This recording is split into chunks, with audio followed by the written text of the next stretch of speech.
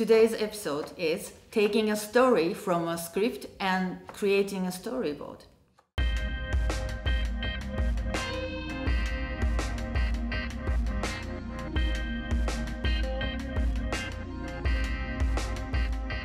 Okay, so this is a script. Either writer or and then publisher send it to me or I I write. And then when I get script, I will read through everything as if I'm actress. So I get the pace of the story and then I can see where the most important part, where do you have to zoom in the face of the character, that such that kind of things. So I make that kind of important part is little note like that.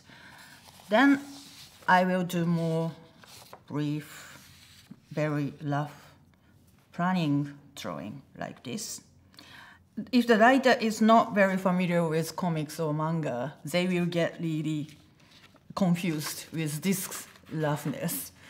And when I get satisfied, I will do more precise sketches like this with uh, speech bubbles in it. And then the position of speech bubble is very, very important for me to get the pace of the story.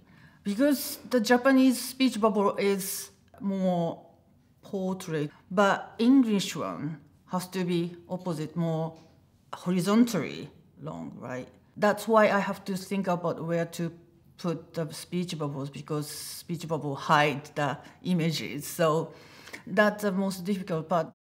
I have a big ego as an artist, but the, at the end of the day, when you are working with a writer, uh, we have what we have to aim is make the story work. What is the best way to you know make story work?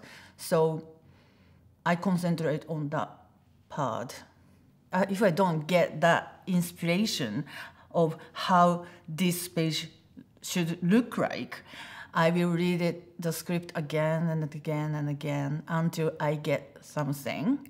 But when I draw them down, it always there is something I want to change, so I change it. So it's always adjusting, adjusting, adjusting, and also you have to think about the not only that page but whole story as well, and also the relationship to next page as well.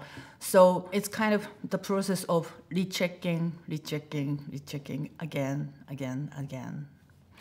And finally, it will look like this with line drawing and tone.